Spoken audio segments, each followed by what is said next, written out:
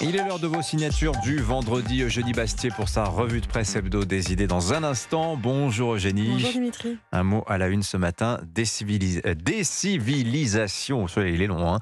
Eh bien, c'est le mot qu'a choisi aussi pour euh, de, de nous parler cette semaine Catherine Ney également. Bonjour Catherine. Bonjour Dimitri, bonjour à tous. Voilà, décivilisation, mot lâché par le président de la République mercredi en Conseil des ministres pour évoquer, évoquer le, le climat de violence en ce moment en France. Il enjoint le président, les ministres de travailler en profondeur pour contrer ce processus. Est-ce que la route euh, sera longue, Catherine, Ah ouais, ça ouais, ouais, ouais. Décivilisation. Mais c'est le mot qu'il fallait pour qualifier nos mots. Cette brutalisation qui envahit notre quotidien. Le président s'est attardé sur plusieurs drames récents. L'infirmière poignardée à l'hôpital de Reims. Trois policiers de Roubaix tués dans une collision avec un conducteur con roulant à contresens, positif à l'alcool et au cannabis. Les fusillades à Marseille.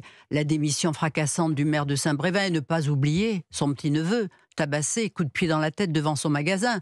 Tenez, aujourd'hui encore, trois gendarmes roués de coups à Calais par des migrants. Ça ne s'arrête pas. Donc il a eu raison, Emmanuel Macron, d'employer ce mot? Oui, parce qu'il correspond à ce que chacun ressent, qu'il y a quelque chose de détraqué. La civilisation, qu'est-ce? Eh bien, c'est être civilisé, accepter les règles de conduite, les ordres, les normes qu'elle impose. C'est juguler ses pulsions pour un mieux vivre ensemble. Mais glissement sémantique, en novembre dernier, devant l'Association des maires de France, eux aussi très marqués par les agressions physiques et verbales dont ils sont victimes, plus 32% en 2022, le président voulait conduire avec eux un travail de civilisation. Mais là, c'était presque optimiste, il croyait cela possible. Parler aujourd'hui, six mois après, de décivilisation, c'est presque un constat d'impuissance, reconnaître qu'on est dépassé. Et d'autant que c'est un problème, en fait, non pas strictement français, mais occidental. hein. Tout ce qui est autorité, encadrement est rejeté. hein. Oui, c'est vrai, mais je dirais qu'en France, il y a un problème particulier, alors pêle-mêle. hein. Bon, on déconstruit l'État depuis 40 ans. D'abord à l'école. hein. Est-il normal que plus d'un tiers des enfants arrivent en sixième en maîtrisant mal la lecture, l'écriture et les, les méthodes semi-globales, globales, ont fait des ravages? Et quand on n'a pas les mots, eh ben on casse. Bon, et aujourd'hui, il y a des profs qui ont peur des élèves. Enseigner la laïcité, mais c'est trop risqué. Et puis il y a aussi des instituteurs qui parlent à des enfants tout petits de changement de genre, de sexe. Mais où va-t-on?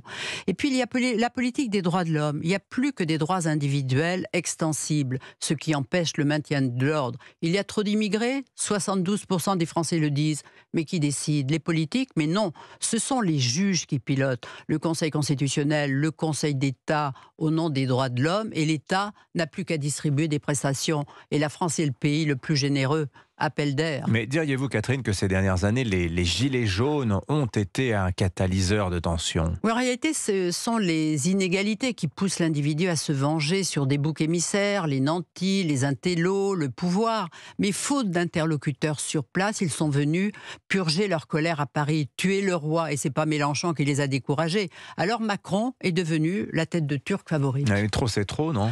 Ben, il faut dire qu'il est aussi victime d'une communication brouillée. Il y a un mois, il nous annonçait 100 jours d'apaisement et d'unité. Hier, c'est la décivilisation. On dirait que son discours obéit à la pulsion du jour plus qu'à une vista. La retraite à 65 ans, il, y a, eu- deux discours. Il était très fortement contre euh, le quinquennat passé, et puis il est devenu très fortement pour. Ça n'a pas bien marché, eh bien il regrette de ne pas s'être impliqué. Alors il parle, mais au fond, on est perdu. Et quand on est perdu, on cède à sa pulsion on explose, on l'explose. Catherine merci beaucoup Catherine. 8h38 sur Europe 1.